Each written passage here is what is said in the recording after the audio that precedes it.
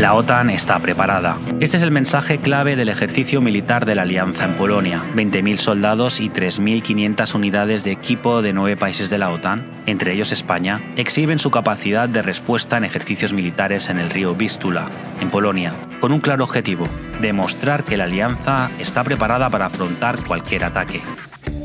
Si comenzase una guerra en Europa, en un primer momento el ejército ruso se tendría que enfrentar a la fuerza de reacción de la OTAN compuesta por 40.000 efectivos. A estas fuerzas rápidamente se sumarían el resto de las fuerzas OTAN en Europa, 10.815 vehículos blindados, 9.460 carros de combate, 3.891 aviones de combate, 112 fragatas, 22 submarinos, 13 portaaviones y 3 millones y medio de soldados en activo en un escenario convencional, las fuerzas rusas se lanzarían primeramente sobre Polonia, como en 1939, con la idea de que sus fuerzas acorazadas llegasen a Berlín y así romper la voluntad de resistencia de la OTAN. Simultáneamente, la Fuerza Aérea rusa intentaría destruir la Fuerza Aérea enemiga en tierra, los aeropuertos, los centros de mando, las grandes infraestructuras de transporte de todo tipo, así como atacarían los sistemas de comunicación y de información de Occidente, tanto con ataques como con ataques convencionales contra los sistemas de comunicaciones. Estos combates, a pesar de los grandes adelantos técnicos que han tenido las nuevas armas del siglo XXI, drones, misiles y proyectiles ligeros anticarro y de todo tipo dirigidos de alta precisión, carros que apuntan y disparan en movimiento, sistemas sofisticados de comunicaciones, radares y satélites que transmiten información detalladísima en tiempo real, etc., serían en realidad todo muy similar a los que se utilizaban en la Segunda Guerra Mundial, en la Guerra de Corea o en la Guerra de Irak. Grandes unidades acorazadas, seguidas de enormes columnas de suministros, entrarían en combate acompañadas de enormes masas de infantería protegidas, eso sí, por una fuerza aérea supersónica. Se producirían enormes bombardeos de artillería y aviación para finalmente tener que entrar la infantería y ocupar, limpiar y consolidar lo conquistado.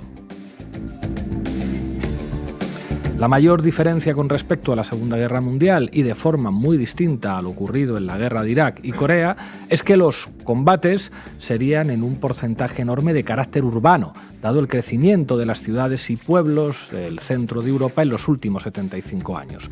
Solo la entrada de armas nucleares cambiaría de forma total este campo de batalla. Bueno, esto se decía en un artículo en La Razón hace dos años a propósito de una guerra con Rusia. Ayer, la cuenta de X del Estado Mayor de la Defensa de España escribía a propósito de unas maniobras de unidades españolas en Polonia que si queremos estar preparados para combatir en Europa del Este es fundamental la instrucción y adiestramiento en paso de cursos de agua. La verdad es que se queda uno muy tranquilo después de esto. Hoy en la base nos preguntamos cómo sería estar en guerra. Bienvenidas y bienvenidos. La base, con Pablo Iglesias, Paola Aragón, Manu Levín e Ina Finogénova. ¿Te imaginas estar en guerra? ¿Te imaginas que España estuviera en guerra, que hubiera un estado de sitio, que hubiera toque de queda, que pudieran bombardear tu ciudad? ¿Te imaginas correr con tus hijos a un refugio antiaéreo? ¿Te imaginas que se habilitaran refugios para una eventual guerra nuclear, bueno, pues parece que muchos medios de comunicación y muchas figuras políticas europeas empiezan a normalizar ese escenario y hasta el Estado Mayor de la Defensa dice que si queremos estar preparados para combatir en el este, pues lo de los pasos de agua es fundamental. En fin. Paola Aragón, ¿qué nos tienes preparado? Pues yo he querido hacer un poco de recapitulación del estado de la cuestión, ¿no? ¿Por qué están estas ideas, esta paranoia de confabulación de la guerra puesta sobre la mesa? No es que nos hayamos vuelto locas y locos todos, ¿no? Es que hay grandes líderes de la, Unión Europea eh, asimilando estos discursos y construyendo unos relatos bélicos que dan que hablar. Manu Levin, ¿qué nos tienes listo? Bueno, y todos esos relatos bélicos de los que habla Paola, pues no funcionarían y no circularían si no fuera por el papel de los grandes medios de comunicación. Hoy vamos a ver una vez más hasta qué punto se está normalizando y banalizando en el discurso mediático la posibilidad de una tercera guerra mundial, de una guerra nuclear. Enseguida lo veremos.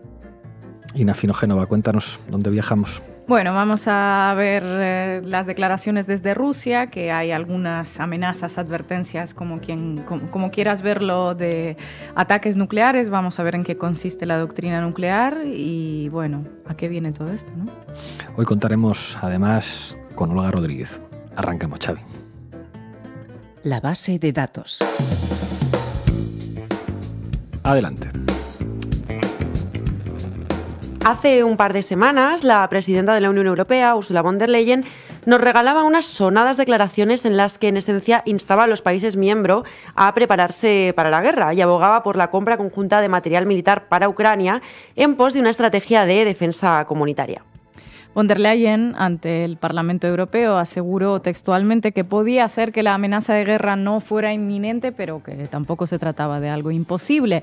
No hay que exagerar los riesgos de guerra, pero hay que prepararse para ellos. Fueron las palabras que utilizó a modo de sugerencia, amenaza o sentencia, depende de cómo prefiera entenderlo cada cual.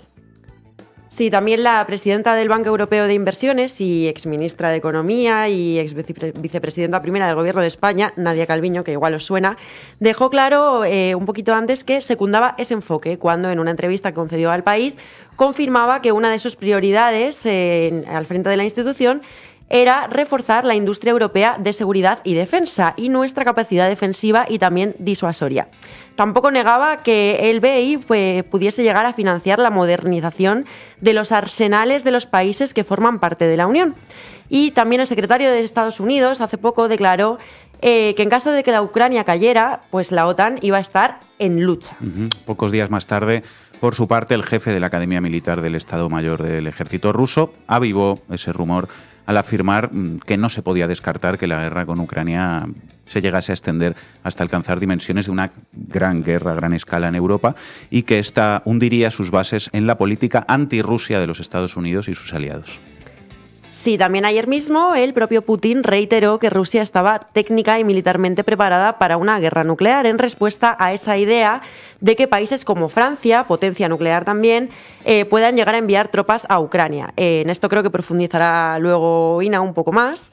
Eh, pero bueno, digamos que aseguró que confiaba en que existían suficientes especialistas en las relaciones ruso-americanas y en el campo de la moderación estratégica como para todavía no tener que creer que estuviéramos llegando a un punto de semejante riesgo. Vamos a verlo.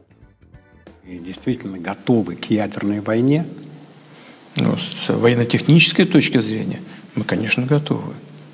Они у нас постоянно находятся, постоянно находятся в состоянии боевой готовности. А наша триада, ядерная триада, она является более современной, чем любая другая триада. А таких триад только вот у нас, да, американцев, на самом деле. И, и мы здесь, они развивают все свои компоненты. Мы тоже. Но это не значит, что, э, на мой взгляд, они готовы завтра развязать эту ядерную войну. Но хотят, ну что ж так делать. Объявили о том, что они не собираются вводить войска. Э, значит, мы знаем, что такое американские войска на, на российской территории. Это интервенты. Мы так к этому и относиться будем. Даже если они появятся на территории Украины. Они это понимают. Поэтому не думаю, что здесь вот все несется так в лоб. Но, но мы-то к этому готовы. Я много раз говорил, для нас это вопрос жизни и смерти. А для них, для них это вопрос улучшения своего тактического положения в целом в раскладе в мире, ну и в Европе в частности. Сохранение своего статуса. своего статуса среди своих союзников. Pues nos quedamos muy tranquilos. En Francia, por su parte, y desde hace ya algún tiempo, Emmanuel Macron ha empezado a instrumentalizar los discursos de guerra como un elemento de campaña de cara a las próximas elecciones europeas, con el que diferenciarse de la líder ultraderechista Marine Le Pen. Él es más belicista todavía. Sí, es que este martes en la Asamblea Nacional Francesa se sometió a votación el acuerdo de seguridad firmado en febrero entre Francia y Ucrania que incluye entre sus puntos la cooperación militar en los ámbitos de la artillería y la defensa aérea. El presidente había considerado llevar ante la Cámara esta, este acuerdo con el fin de forzar a los del Le Pen a posicionarse eh, y sus objetivos, de hecho, se vieron cumplidos, ¿no? porque el acuerdo fue respaldado por una amplísima mayoría de la Asamblea, pero la Alianza Nacional, además de la France Insoumise y del Partido Comunista, votaron en contra del mismo, aunque por motivos distintos. Pero escuchemos a Gabriel Attal, el primer ministro francés, y lo que dijo al respecto. Rusia es una amenaza, no solamente para Ucrania, sino directamente para nosotros, para Europa, para Francia y para el pueblo francés, frente a una potencia imperialista, revisionista, que amenaza y que solo cree en la fuerza. No hay atajos, solo hay una determinación política y una postura estratégica.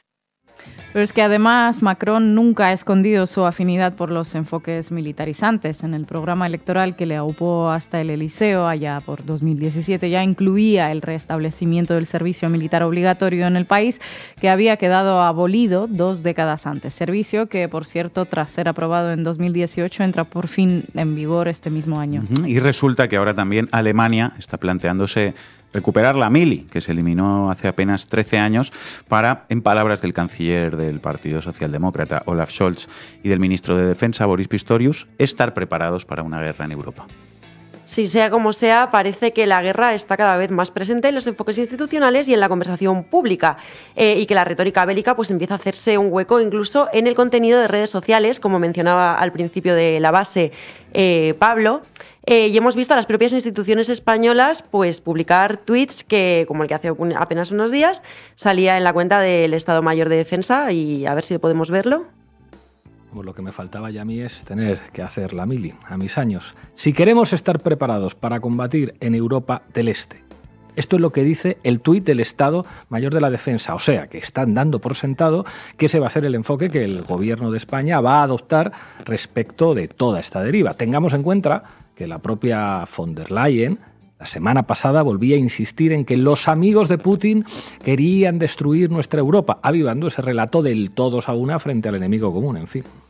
Sí, así que ahora parece que mucha gente se está preguntando qué pasaría si finalmente Sánchez se decidiese a decir también sí a la guerra si podría, llegado el caso, el gobierno volver a recuperar, por ejemplo, el servicio militar obligatorio o declarar el estado de sitio o promulgar una ley marcial. Bueno, en primer lugar, cabe recordar que la mili, el servicio militar obligatorio, que era exclusivamente para hombres, se eliminó en España en realidad hace no tanto, en el año 2001, y que tachan, tachan, quien la eliminó fue José María Andar, el mismo que luego nos metió en la guerra de Irak, porque así es el Partido Popular, un gran defensor de las libertades, el derecho internacional y la verdad.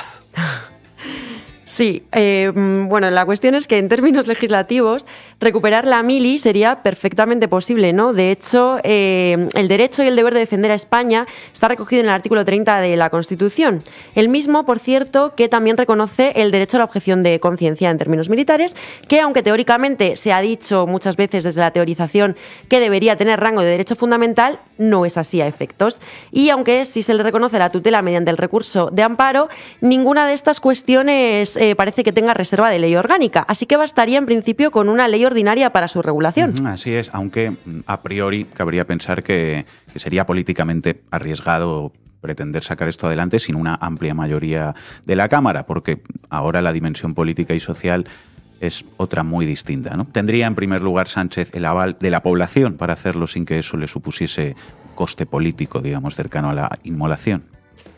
Pues bueno, la última vez que el CIS preguntó sobre estos temas, en el año 2017, un 47,1% de los encuestados y encuestadas aseguraban que no estarían dispuestas a dar la vida por su patria y que en el supuesto de que España fuese atacada militarmente, el 40% rechazaba la idea de participar voluntariamente en la defensa del país, algo que con total seguridad solo haría el 17%.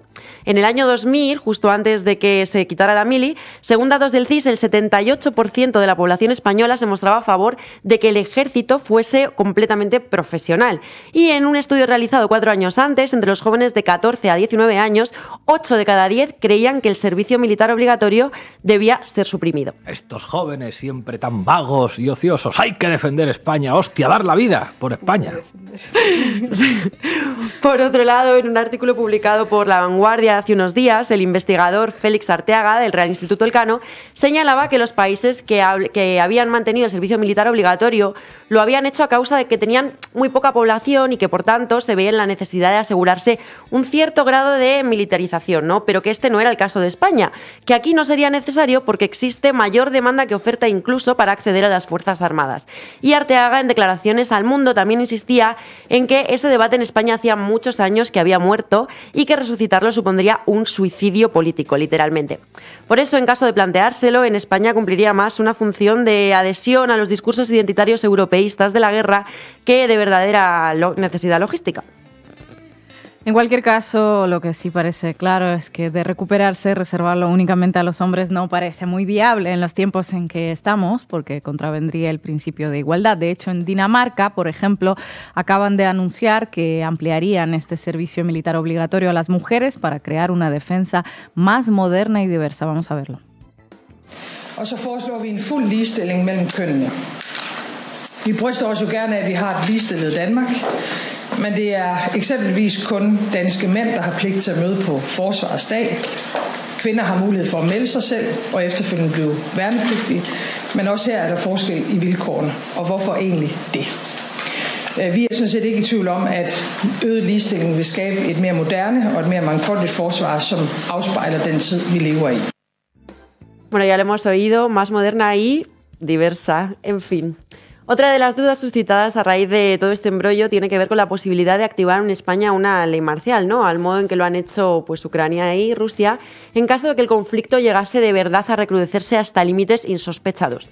En el caso ucraniano, su actualización lleva siendo renovada desde febrero de 2022 y ha implicado, entre otras cosas, que no se puedan celebrar elecciones, la limitación de movimiento de la población o el fin de la inviolabilidad del domicilio y de la libertad de expresión. En resumen, eh, la ley marcial se refiere al establecimiento de un Estado militar en que las autoridades militares asumen prácticamente el control del país para la gestión de la crisis. Mm.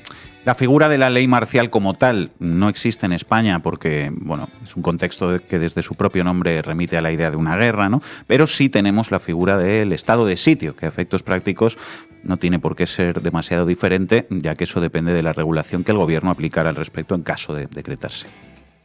Sí, el estado de sitio está recogido en el artículo 116 de la Constitución y se desarrolla en una ley orgánica.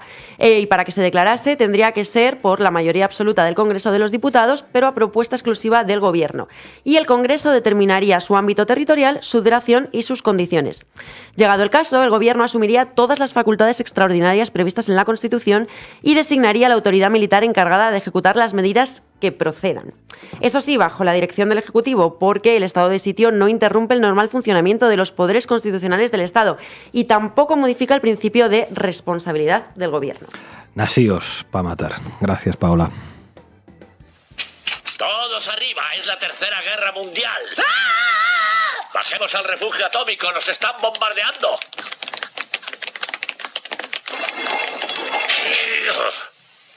18 segundos. Si esto fuera de verdad una guerra nuclear, nos habrían hecho tapioca. ¿Cómo?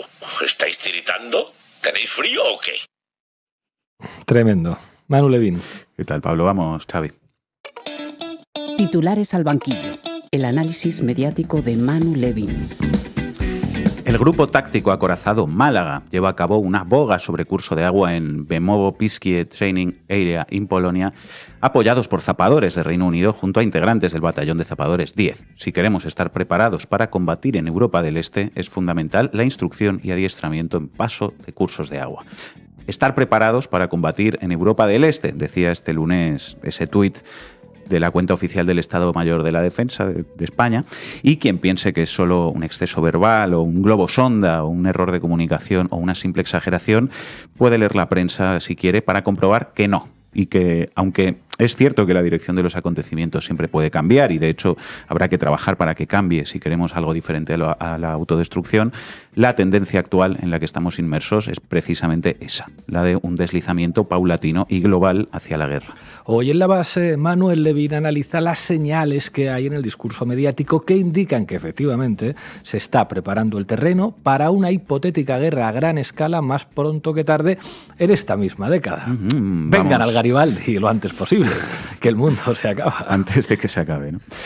Vamos, vamos con ello. Sabemos bien que para lanzar toneladas de bombas en una guerra absurda, primero hay que lanzar toneladas de propaganda para naturalizar la guerra. Así que mm, el primer ejercicio muy útil que se puede hacer para comprobar hasta qué punto caminamos en esa dirección es hacer lo que se conoce como un análisis de contenidos, que es un análisis cuantitativo, al peso, digamos. Haced la prueba.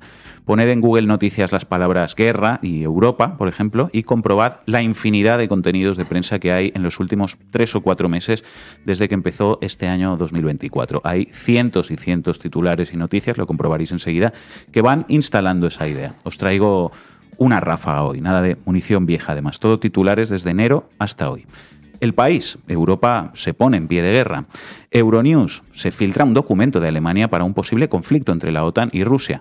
Otra de Euronews, un jefe militar de Reino Unido advierte a los ciudadanos sobre una posible guerra masiva con Rusia. El general de alto rango compara la situación en Ucrania con las guerras de 1914 y 1937 e insiste en que solo los ejércitos ciudadanos podrán derrotar el ataque que se avecina contra el modo de vida de Occidente.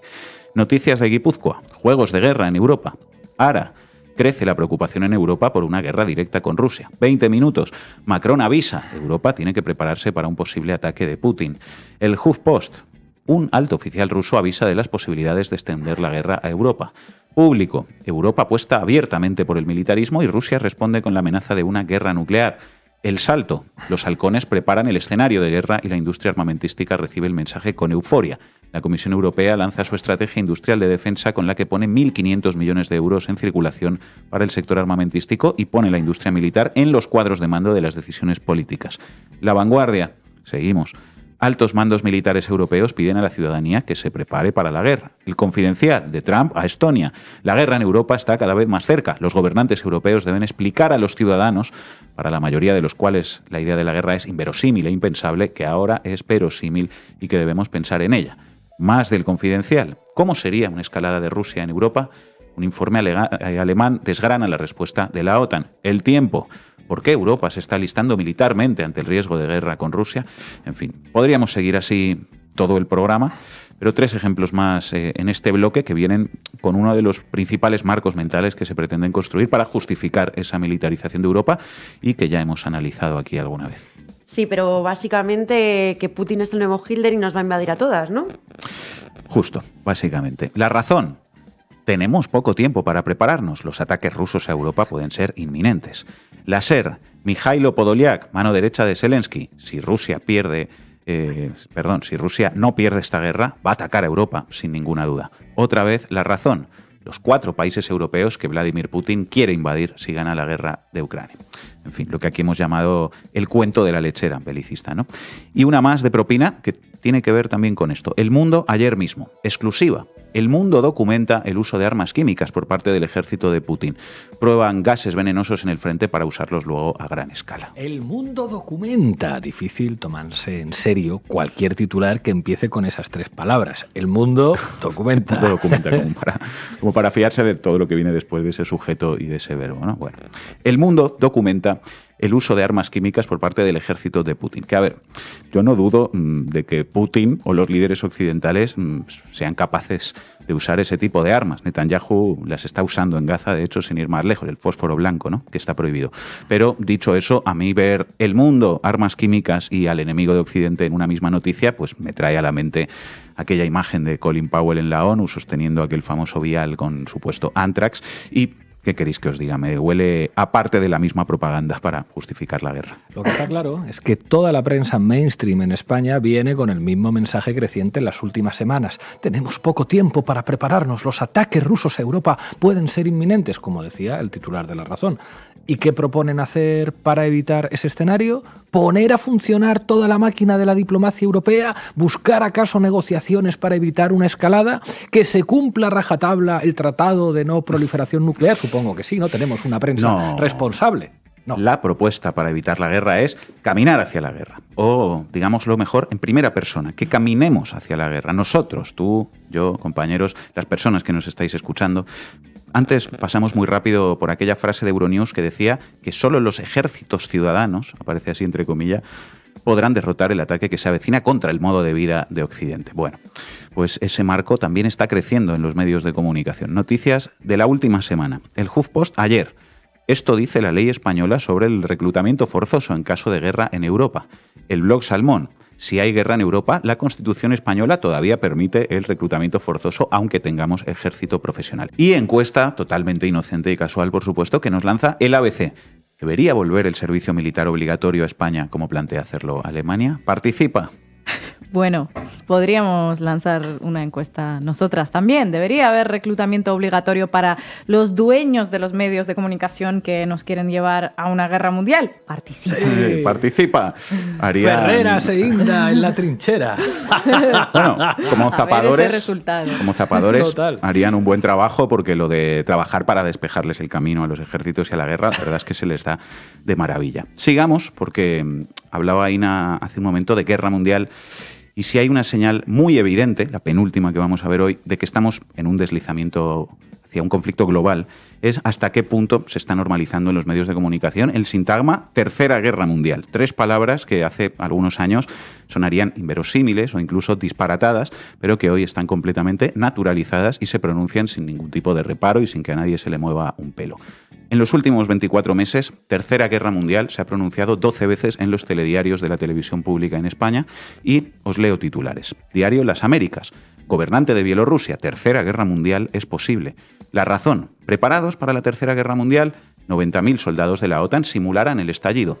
La razón, las posibilidades de la Tercera Guerra Mundial han aumentado considerablemente. Esto es una crisis sin precedentes. La razón, si Ucrania no gana la guerra, la OTAN se enfrentará a una tercera guerra mundial contra Rusia. La razón, tercera guerra mundial, estos son los países que formarían los dos bloques de un conflicto a gran escala. Más de la razón, a tope Maruenda. La inteligencia noruega muy pesimista. Tercera guerra mundial, las cosas no van bien. Levante MV, el nuevo Nostradamus, da la fecha en que comenzará la Tercera Guerra Mundial. El HuffPost, la OTAN simulará la Tercera Guerra Mundial. El Español, la sombra de la Tercera Guerra Mundial. 20 minutos, los ocho eventos que podrían desencadenar la Tercera Guerra Mundial según la inteligencia artificial. 20 minutos, Donald Trump avisa de la Tercera Guerra Mundial y que él evitará la derrota de Estados Unidos. El debate, tambores de guerra mundial, estamos cerca de un tercer conflicto global. Diario de Mallorca, Jorge Descallar, un conflicto entre Rusia y la OTAN sería catalogado como la Tercera Guerra Mundial. Seguimos para Bingo. Antena 3. ¿Estamos ante una Tercera Guerra Mundial? La OTAN prepara las mayores maniobras militares desde la Guerra Fría.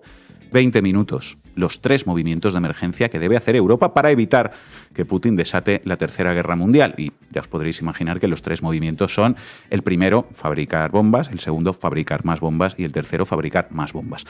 Bueno, y hasta en la prensa deportiva. Diario AS. Rusia señala la posibilidad de una tercera guerra mundial. Es un camino peligroso. Diario Marca. Elon Musk avisa al mundo. Nos dirigimos hacia la tercera guerra mundial. Palabras apoyadas por el presidente de Estados Unidos, Donald Trump, dice el marcasín, en orden de importancia. Y os traigo una más de la vanguardia que me la quería dejar para el final de este bloque porque sirve para entender un poquito mejor de qué va siempre esto de la guerra. Dice la vanguardia, ¿Qué significaría una tercera guerra mundial para los inversores? El periódico del Conde de Godó preocupándose de lo realmente importante. ¿Qué significaría una guerra para los inversores? Dice la vanguardia, los conflictos globales suelen pillar por sorpresa a los gestores de fondos. Por supuesto, en semejante escenario los daños financieros se situarían muy abajo en la lista de horrores. Menos mal que dice esto la vanguardia, pero añade lo siguiente. Con todo, forma parte del trabajo de un inversor ponderar exactamente qué significaría algo así para su cartera.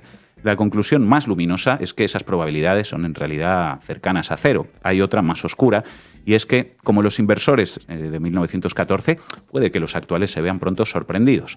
La historia apunta a una tercera posibilidad, que incluso si los inversores esperan una guerra importante, sea poco lo que puedan hacer para sacar un provecho fiable de ella.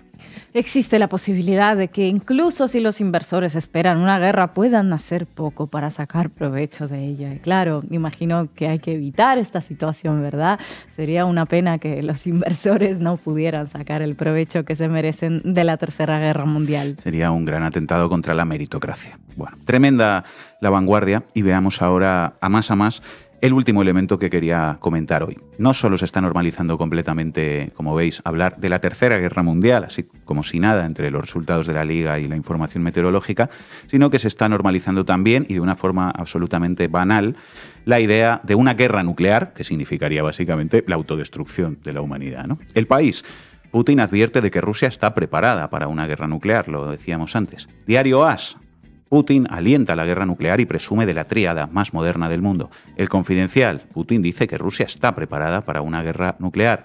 Radio Televisión Española. Putin dice estar listo para una guerra nuclear y que sus armas son más modernas que las de Estados Unidos, que son más grandes, ¿no? A ver quién tiene las armas más grandes, las tiene Putin. Y de nuevo nos detenemos en la vanguardia crece la amenaza de una explosión atómica en Europa, dice la vanguardia. Los estrategas del Pentágono evalúan en un 50% la posibilidad de que el presidente ruso, Vladimir Putin, inicie un ataque. Aseguran que en otoño de 2022, viendo cómo su ejército retrocedía en Ucrania, estuvo a punto de hacerlo. El mundo no había estado tan cerca de un conflicto nuclear desde la crisis de los misiles de Cuba de 1962. Informa la vanguardia también que el ministro alemán de Finanzas, Christian Lindner, cree que Europa debe tener su propio arsenal nuclear. Lo mismo opinan los exministros alemanes de Asuntos Exteriores, Joschka Fischer, el de los verdes, y Sigmar Gabriel. Si no aumenta la ayuda estadounidense a Ucrania, algunos países pondrán en consideración el desarrollo de sus propias bombas atómicas, advertido Radoslav Sikorski, jefe de la diplomacia polaca. Esto supondría, dice la vanguardia, violar el Tratado de No Proliferación Nuclear que han firmado todos los países de la Unión Europea, incluida Polonia. Y ya total, pues qué más da, ¿no? De perdidos a la guerra nuclear. Solo es un tratadito más para pasarse por el forro si después de lo de Gaza ya todo es papel mojado, en fin. La razón, los dos únicos países del mundo que lograrían sobrevivir si estalla una guerra nuclear. Eh, spoiler, ¿España no es uno de ellos? No. Australia y Nueva Zelanda, dice la razón. Así que nada, quedarán los canguros y los hobbits para reconstruir el mundo. Y bueno, los jefes de los medios, que desde que Ina lanzó nuestra encuesta, pues deben estar ya todos en Nueva Zelanda también. Vamos a acabar ya, mm, no sin antes ver, como os decía, el nivel de banalización en el discurso mediático de la posibilidad que cuesta hasta pronunciarla de que estalle una guerra nuclear. El español. ¿Cómo sobrevivir a una bomba nuclear? El mejor lugar para esconderte y durante cuánto tiempo. El confidencial. Putin radioactivo. ¿Qué pasa si Rusia usa armas atómicas para ganar la guerra de Ucrania? El confidencial. ¿A qué distancia habría que estar para sobrevivir a una explosión nuclear? Bueno, esperad porque esto no es nada todavía. Atención a lo siguiente. CNN. Búnkeres para multimillonarios. Así se prepara el 1% para el apocalipsis. Voz Populi, el boom de los búnkeres de lujo, el boom, buena onomatopeya, de Putin a Kim Kardashian. La guerra nuclear también puede ser cool, a ver, esto lo sabemos. Construyas un búnker como el de las Kardashian, no Gabriela Tal, además, el que, es todo un pincel que va guapísimo siempre, uno de los que defiende la guerra nuclear. Claro, porque sigue las tendencias que marcan las Kardashian ah. también en cuanto a los búnkeres nucleares. Bueno, tremendo. Y atención, una vez más, la última hoy, a la razón cómo sobrevivir a un ataque nuclear, dónde esconderse y a qué distancia mínima hay que estar. Y nos dice el camarada Maruenda, permanezca boca abajo en el suelo inmediatamente después de la explosión. Don't look up. Protéjase con una máscara facial. Mira, ya puede reciclar las del COVID. Permanezca adentro hasta que se le indique lo contrario y tenga mucho cuidado de no introducir el pie entre el coche y el andén. Con una bomba nuclear de un megatón, que sería 80 veces más potente que la detonada en Hiroshima, las personas que se encontraran más cerca de la explosión, a 8 kilómetros de distancia, podrían sufrir quemaduras de tercer grado, pudiendo llegar a causar la muerte si estas afectan a más del 24% del cuerpo, mientras que hasta los 11 kilómetros se podrían sufrir quemaduras más leves. Muy sencillo, permanezca a más de 11 kilómetros de cualquier lugar. Mm. Protégete en un edificio de ladrillo. Y decían los perros flautas que no servía para nada el modelo económico del ladrillo. Chupaos esos arrojos de mierda. Evite mirar el destello o bolsa de fuego, pues puede cegar. Siempre va, ¿no? Una radiografía, ¿por qué no? Quítese la ropa y colóquela en una bolsa de plástico, sélela y colóquela lejos de seres vivos. Si es que queda algún ser vivo. Dúchese con agua y jabón cuando sea posible, sin frotar ni rascar la piel. Y el apocalipsis nos pille perfumados. No use, muy importante, acondicionador, pues une el material radiactivo al cabello. Llega el fin del mundo y yo con estos pelos, pues ya sabéis, nada de acondicionador antes del fin del mundo, practica el método Curly. En fin, poco nos pasa. Gracias, Manu.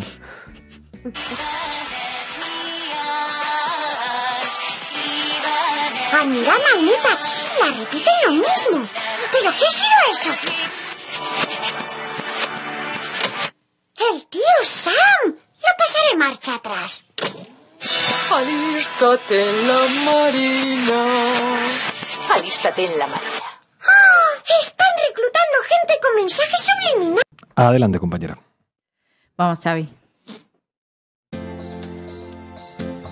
¿Para qué me invitan? El análisis internacional de Ina Afino Génova La pregunta de nuestro programa de hoy es, ¿y si entramos en guerra? Y es una pregunta que ya se ha hecho en países como Estonia, Lituania, República Checa, Polonia, Francia, bueno, ahora le toca a España.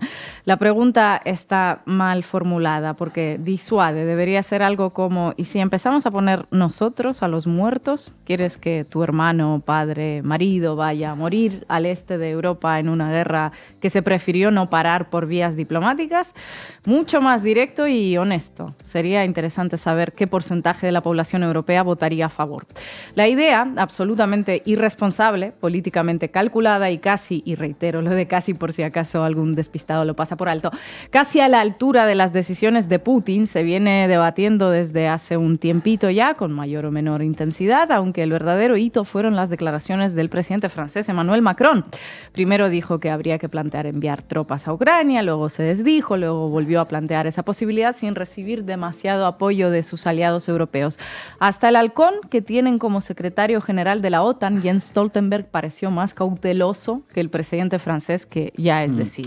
Bueno, porque una cosa es tener una guerra proxy a las puertas de un país que declaraste amenaza directa en tu recién adoptada doctrina, en la que ese país se va desgastando y desgastando, y otra cosa diferente es efectivamente empezar a poner tú los muertos.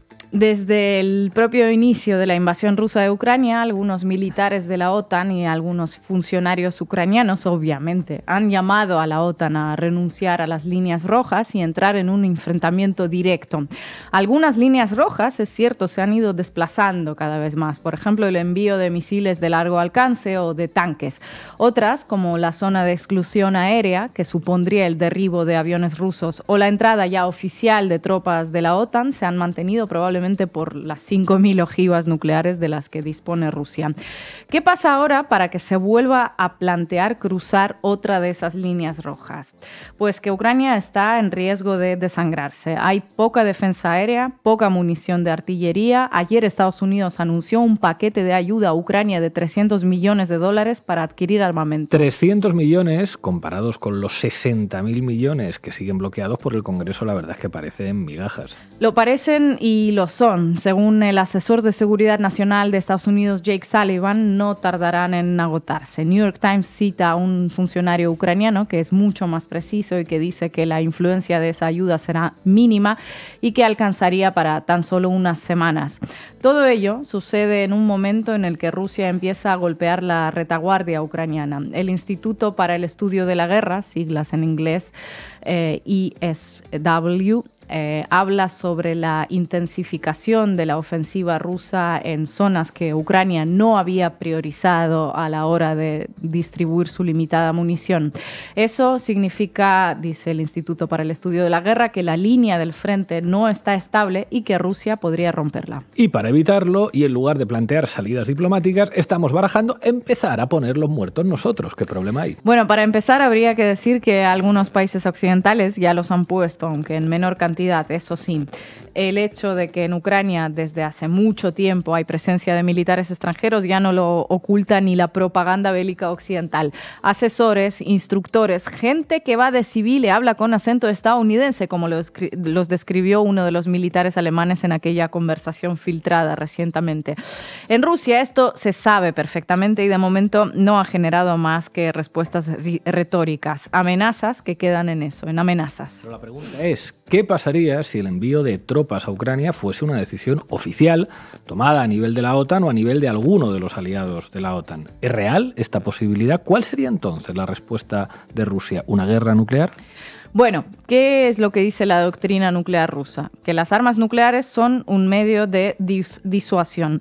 Oficialmente solo contemplan cuatro escenarios en los que se podría recurrir a su uso. Uno, la llegada de datos fiables sobre el lanzamiento de misiles balísticos en dirección a Rusia.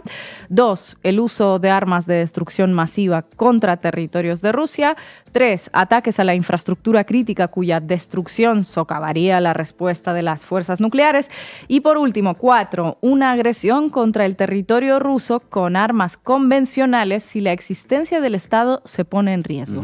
En este último punto, es en el que habría que fijarse. ¿no? Un ataque con armas convencionales contra lugares como la península de Crimea, que Rusia considera parte de su territorio y que de hecho alberga su base naval en el Mar Negro. Ese un ataque, un hipotético ataque con armas convencionales a Crimea pondría en riesgo la existencia del Estado ruso. El mayor think tank de Estados Unidos, Rand Corporation, que asesora al Pentágono, consideró hace más de un año ya que Moscú lo interpretaría así.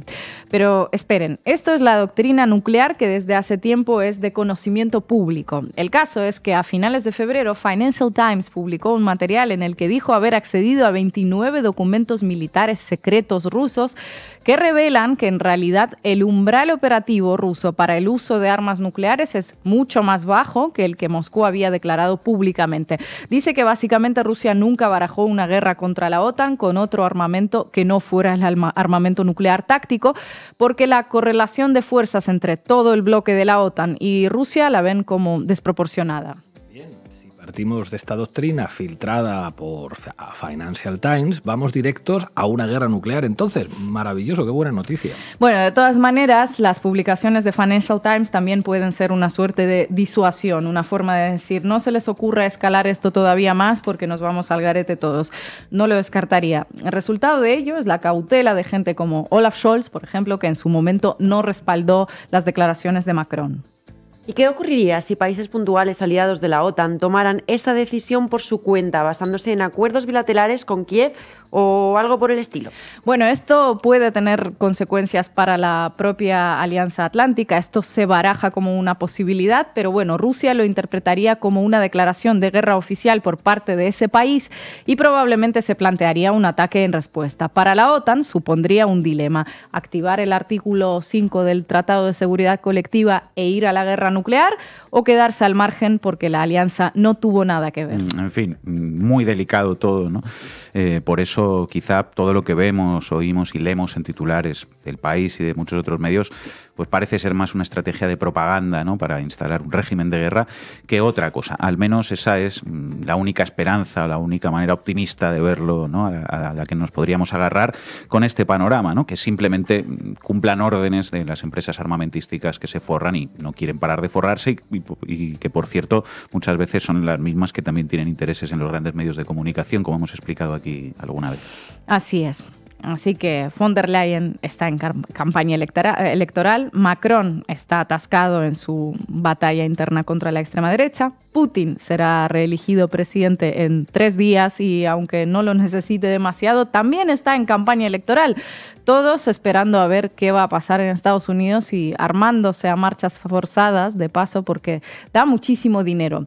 Para finalizar y calmarlos un poquito, ayer la secretaria de prensa del Consejo de Seguridad, Adrienne Watson, dijo que Washington no ve señales de que Rusia se prepare para usar armamento nuclear. No vemos motivos para corregir nuestra propia estrategia nuclear ni señales de que Rusia esté haciendo lo mismo.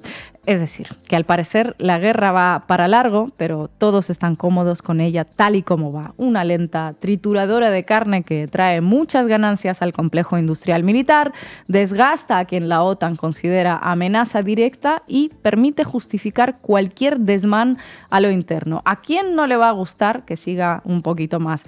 Y sobre Ucrania, bueno, ya pensaremos en otro momento porque la guerra nos resulta mucho más conveniente que la paz, aunque acabe con la mitad de ese país en ruinas. Gracias, compañera. Ha estallado la guerra, qué emoción, qué emoción, qué escena. Ha estallado la guerra, la guerra nuclear. Do re mi, do re fa, la guerra nuclear. Escuchábamos a la bruja Avería. En fin, hoy nos acompaña Olga Rodríguez, periodista. Olga, muchísimas gracias por atender una vez más a la base. Es un placer. ¿Cómo valoras el tuit de la cuenta oficial del Estado Mayor de la Defensa en el que dice que hay que prepararse para una guerra en los países del este. Bueno, es un posicionamiento, ¿no? Lo estabais explicando cuál es el escenario en estos momentos y lo que dicen en ese tuit es la admisión de que están abiertos a esa posibilidad. En un momento en el que no vemos que haya un debate público y político intenso al respecto ante algo tan grave y en el que la ciudadanía no tiene información suficiente porque hay muchísimo secretismo. Y se produce además en un momento de máxima incertidumbre internacional, como estabais definiendo, con dos frentes muy cercanos geográficamente, que son Ucrania y Gaza, y que están conectados entre sí realmente porque forman parte de lo mismo, de, un pulso entre potencias eh, mayor. Sin duda, el envío de tropas sería una escalada mayor, supondría una escalada mayor con varios riesgos que el otro día exponía el ex primer ministro Vilepan eh, y que lo hacía de una manera que, que me resulta interesante. El primero de ellos, evidentemente, estamos ante el riesgo de una expansión del conflicto. Y él se preguntaba, ¿sabemos del otro lado si se enviaran tropas desde Europa, si del otro lado otros, otros países enviarían eh, tropas terrestres en apoyo a Moscú. Un segundo riesgo, evidentemente, es la apertura de otro frente. Se ha abierto un frente en Gaza. ¿Y si se abren más frentes? ¿Y si se abren frentes en los cinco continentes? ¿Ante qué estamos? Un tercer riesgo es el riesgo terrorista, eh, con el terrorismo oportunista. Un cuarto riesgo, bueno, el escenario eh, que dejarán las elecciones de noviembre, que va a pasar, unas elecciones estadounidenses que van a determinar el nuevo orden mundial. Y un quinto riesgo, que lo mencionabais antes, es el riesgo nuclear. En 40 años de Guerra Fría, las fuerzas del Pacto de Varsovia y las fuerzas de la OTAN nunca se enfrentaron directamente y no es casualidad, que tiene que ver con, con la gramática de lo nuclear. Eh, aquí estamos en un escenario en el que se necesita mucha más transparencia frente a la opacidad en materia de defensa en toda Europa y de exteriores para que pueda haber escrutinio por parte de la sociedad, porque eso es lo que es una democracia al fin y al cabo, un, país con información suficiente. Y yo creo que como somos occidentales, debemos preguntarnos si desde aquí se está haciendo todo lo posible para detener la guerra. Y la respuesta es no. Hubo posibilidad de negociación hace año y medio y, y hubo actores eh, boicoteándolo y lo consiguieron. Y ahora vemos una vez más como el belicismo, el jalear la guerra y mm, es eh, la vía imprudente, constante y peligrosa que se está adoptando. Paola. Hola, Olga, ¿qué tal? Muchas gracias por atendernos. Bueno, yo te quería preguntar un poco, em, en España venimos de una tradición de la opinión pública en la que generalmente hemos sido bastante contrarios a la militarización de la sociedad civil. Em, te quería preguntar si crees que en los últimos años, con el auge de la, extrema, derecha, esto puede haber cambiado eh, y si en tal caso sería una consecuencia de ese auge o quizá eh, ese auge sería un síntoma de ese cambio en la opinión pública. Bueno, yo creo que está interconectado, ¿no? Eh, recuerdo ahora, cuando me estabas haciendo esta pregunta, un artículo de hace año y medio dos años de Fukuyama, padre de la teoría del fin de la historia, que él mismo luego tuvo que corregir porque se equivocó, en el entusiasmo belicista que había en 2022 ¿no? ante em, los tambores de guerra y el envío de armamento a Ucrania, viendo cómo otros luchan dando su vida, Fukuyama escribía un artículo en el que em, eh, venía a decir, decía, algo así como, hablando de China, confiemos en que Taiwán, por su parte, se dará cuenta de la necesidad de prepararse para luchar, como han hecho los ucranianos, y restablezca el servicio militar obligatorio. Lo hacía hablando de China porque no hay que olvidar también que Ucrania se usa a menudo como mensaje para China. Y las palabras de Fukuyama, como la de tantos otros, muestran cómo la guerra de Ucrania es eh, bueno, eh, ese mensaje para China y cómo esa militarización de las mentes y el belicismo implican exigir el sacrificio de los pueblos a costa de los beneficios de una élite. Aquí en España, lo contaba antes Manu, ha habido prensa eh, que ha llegado a hacer incluso una encuesta sobre la recuperación del servicio militar obligatorio. Todo esto mm, es un planteamiento que está teniendo lugar en circuitos militares y diplomáticos, pero que sin embargo es ajeno a la mayoría de la gente. Se están dando pasos y tomando decisiones a espaldas de la ciudadanía eh, con esa inercia de un marco de guerra como si fuerzas irreversibles de la historia nos llevaran a ella una y otra vez, cuando en realidad es evitable.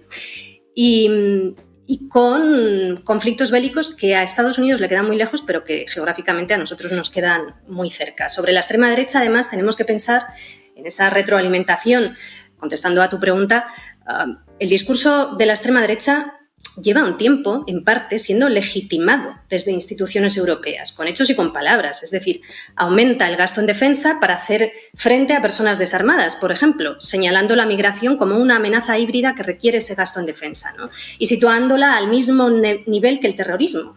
Por lo tanto, algunas tesis de la ultraderecha, de la extrema derecha, ya están aquí disfrazadas de democracia, se compra el, marco de la extrema derecha y luego hay gente que se echa las manos a la cabeza. Buenas tardes, Olga. ¿Qué tal? Muchas gracias por atendernos. Eh, hablabas hace un momento de esa encuesta de, ABC, si no me equivoco, eh, que, preguntaba si debería volver la mili. Veíamos antes en el programa, bueno, muchos ejemplos de cómo los grandes medios están, digamos, fabricando el consentimiento para para ese escenario de hipotética guerra, incluso con frivolidades, ¿no? si cae una bomba nuclear, no usa acondicionador, eh, etcétera. Te quería preguntar, bueno, como periodista, eh, ¿cómo valoras el, papel de, los grandes medios de comunicación, de los grandes poderes mediáticos en Europa en, todo esto? Y, bueno, y, digamos, si se podría hacer algo también desde dentro de la propia profesión o desde la propia ciudadanía, bueno, para contrarrestar todo ese discurso que es un posicionamiento, ¿no? Como tú decías. Bueno, es la pregunta del millón. Yo creo que el papel de los medios de comunicación es un eje que lo atraviesa todo. Y yo en los últimos 25 años he cubierto buena parte de las guerras que, ha habido en Oriente Medio y en el norte de África. Y he visto como una y otra vez em, defender la guerra y jalear la guerra, incluso con mentiras, no pasa factura a la prensa. Ahora estamos en un momento en el que mm, hay secciones de internacional y de defensa que han menguado o directamente han desaparecido en muchas redacciones. Y esto es muy paradójico porque en un momento en el que lo que ocurre incluso al otro lado del mundo eh, tiene consecuencias en, en esta parte, sin embargo, hay menos personas en muchas redacciones y se dedica menos tiempo y menos espacio a informar sobre estas cuestiones. Eh, lo cual evidentemente incide en esta desinformación, y en esta ah, falta de espacio para estas cuestiones. Pero es que además hay una voluntad una y otra vez de mm, estos discursos belicistas, con una militarización de las mentes. Por ejemplo, la guerra de Irak. No importó que nos mintieran en repetidas ocasiones.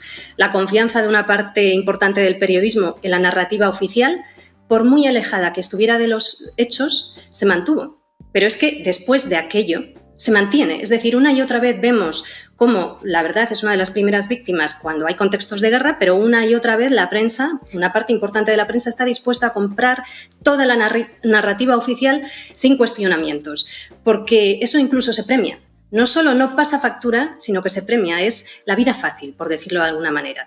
Cuando el periodismo lo que tiene que preguntarse es siempre, una y otra vez, y más si viene desde arriba hacia abajo, ¿no? Lo que tenemos que preguntarnos es, ¿es eso cierto? Es, mm, bueno, es algo que es obligatorio dentro de la profesión, ¿no? pero que sin embargo se ejerce poco. La mayoría de los periodistas que jalearon con mentiras eh, las últimas guerras de los últimos 25 años siguieron y siguen en sus puestos y con premios y con reconocimiento incluso. Hay una frase que a mí me gusta mucho de uno de los pocos periodistas estadounidenses que cuestionó las mentiras de la administración Bush y de Colin Powell en 2003 cuando ya se preparaban para la invasión ilegal de Irak que es la de Andrew Cockburn, que, que ha dicho más de una ocasión que la prensa ha aprendido que mientras se mantenga muy cerca de la línea oficial del gobierno no corre peligro ni enfrenta posibilidad de sanción por muy mal que haga su trabajo. Y esta es una realidad.